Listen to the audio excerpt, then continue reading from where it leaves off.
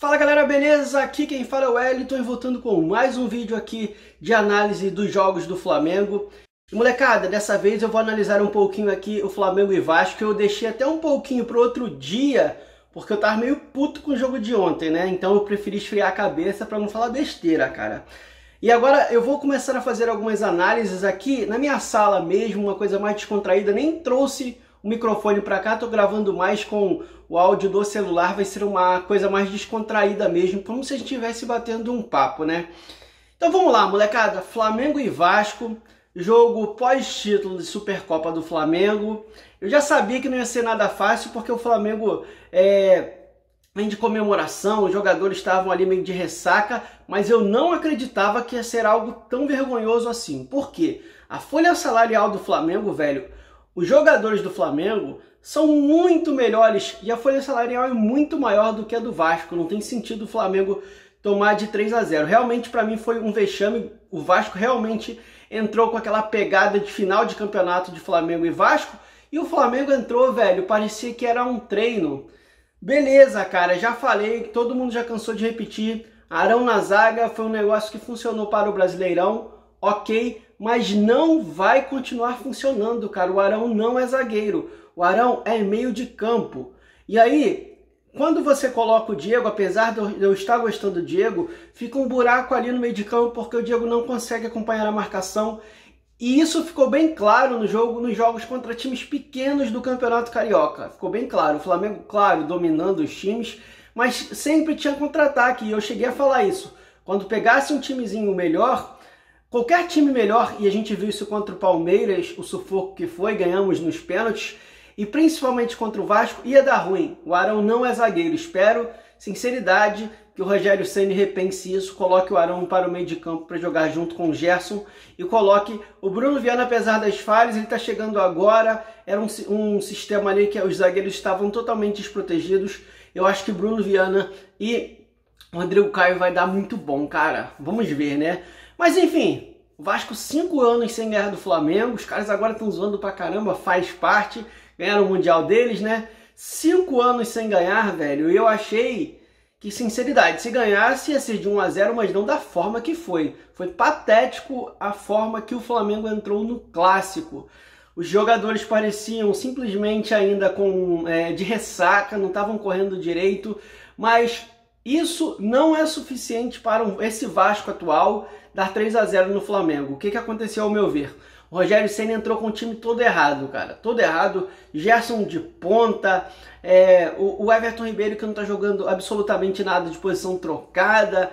Enfim, é, o Diego é, de primeiro volante, velho. O Diego de primeiro volante. O Diego já mais à frente ele não consegue acompanhar a marcação. Ainda mais de primeiro volante. Lógico que ia dar ruim.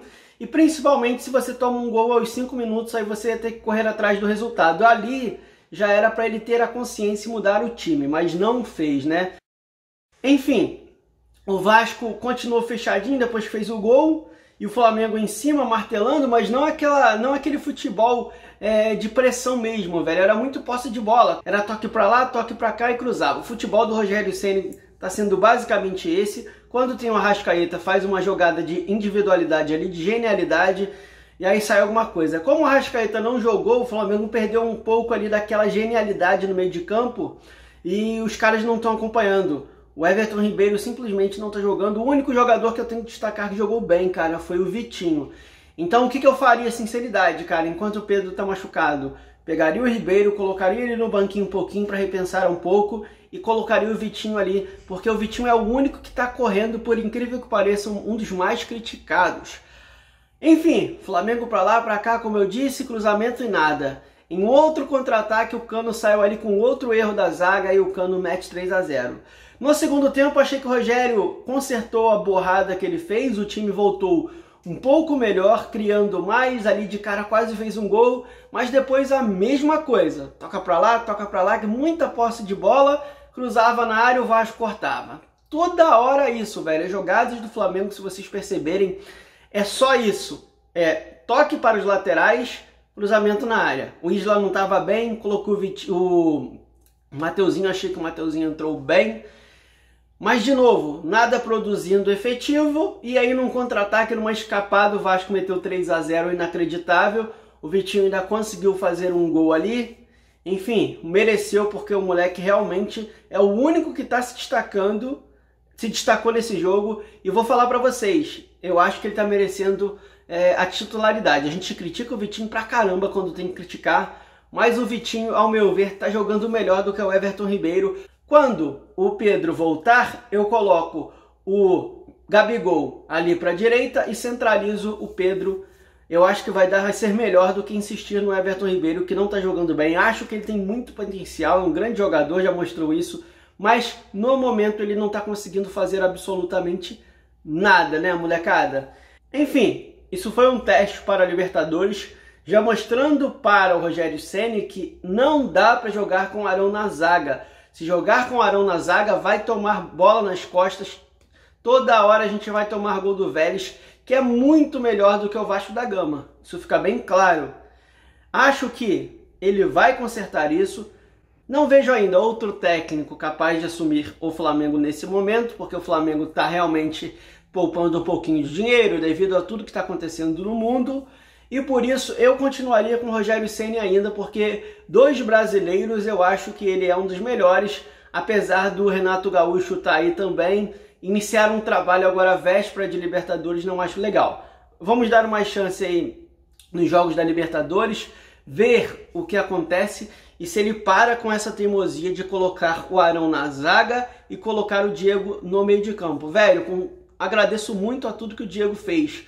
Mas está na hora do Flamengo renovar um pouco, buscar um outro meio de campo é, mais jovem, qualificado, principalmente para quando o Arrascaeta não jogar. Espero sinceridade que o Flamengo resolva logo a situação da renovação, da é, valorização contratual que o Arrascaeta tanto quer. Acho que ele tem que ser um dos jogadores de fato mais bem pagos do time, porque ele é o cérebro desse time do Flamengo. Quando ele não joga, o Flamengo cai muito de produção, né? Enfim, espero que resolva logo até o jogo contra o Vélez. Fim de semana o Flamengo vai com o time reserva e tanto faz, tanto fez também Carioca. É o que eu falo. Eu não ligo de perder no Carioca e, sinceridade, Carioca, Campeonato Carioca pro Flamengo é indiferente, é mais como pré-temporada. Foi bom acontecer isso mesmo, foi bom ele testar no Campeonato Carioca e levar é, esses 3 a 1 né? Porque o Campeonato Carioca serve como padrão, serve como teste, né? Vamos, vamos dizer assim, serve como teste para os próximos jogos. E aí, chegando na Libertadores, ele não pode cometer esses erros, né? E sinceridade, eu acho que ele vai aprender. Não é possível que o Ceni seja tão teimoso assim, né? Bora ver agora na Libertadores, jogo complicado. Não tô tão confiante com o que a gente viu contra Palmeiras e contra o Vasco da Gama, apesar do título contra o Palmeiras, eu vi um time inseguro, um time que foi pressionado no segundo tempo todo.